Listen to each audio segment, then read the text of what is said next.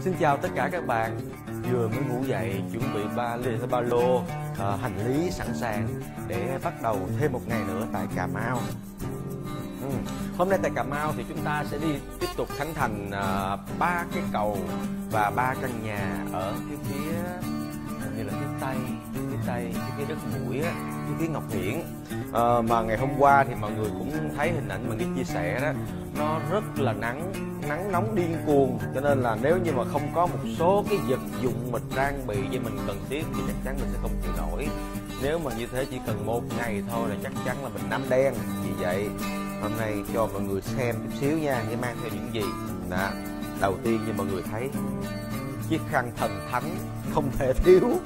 À, chiếc khăn này là của um, sản phẩm Homis của chùa Phật Quang Tiền Tôn Phật Quang. À, mấy cô tặng cho nghĩa ha. À, mặt rất là đẹp ai muốn có những chiếc khăn này, các bạn khi mà về chùa Phật Quang để mà lễ chùa thì các bạn có thể mua cho mình một cái, ha, khi mà lạnh, các bạn choàng vào rất là ấm. Ở đây có những cái hàng nút này mình gài lại mà nó cũng rất fashion, rất là thời trang luôn, ha. Mình có thể sử dụng được hai mặt mặt màu này cũng như là mặt màu nâu luôn, màu màu xám cũng như màu nâu đều được hết.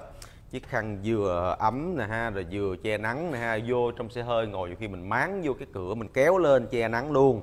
Đó là cái vật dụng thứ nhất cái thứ hai à, nước. À, các loại nước uống tại vì để cho da không có bị khô mình phải cung cấp mình bổ sung nước liên tục trong ngày thì da mình nó mới không có khô được ha.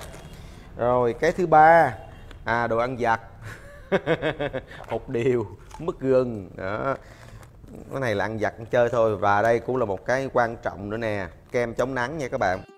Đây Laura Sunshine của uh, diễn viên nhóm em gái Nhật Kim Anh. Đó thì cái chai Laura Sunshine này là cái chai dạng xịt nha các bạn. Khi mà đó nghĩa đi ví dụ mặt tay ngắn như thế này nè đó thì mình sẽ phải xịt cho nó đều á. Nó như một lớp cung xương.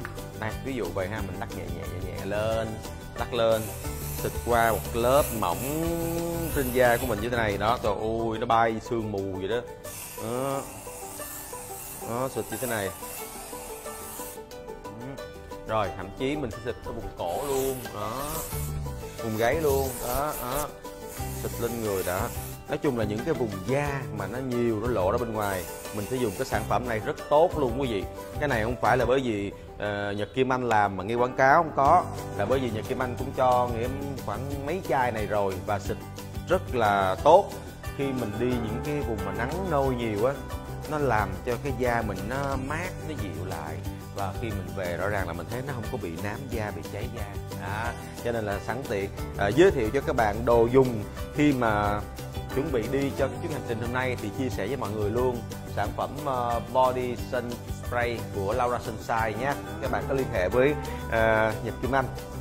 Đây, đó là một vài những cái vật dụng quan trọng cần thiết cho ngày hôm nay. Còn bây giờ thì nghĩa sẽ chuẩn bị bắt đầu cho cuộc hành trình đầu tiên là sẽ đi ăn sáng. Có thật mới vực được đạo. Đi ăn sáng cùng với mọi người trước. Sau đó chúng ta sẽ bắt đầu cho chuyến hành trình cà mau ngày hôm nay. Mọi người theo chân nghe nha đi nha.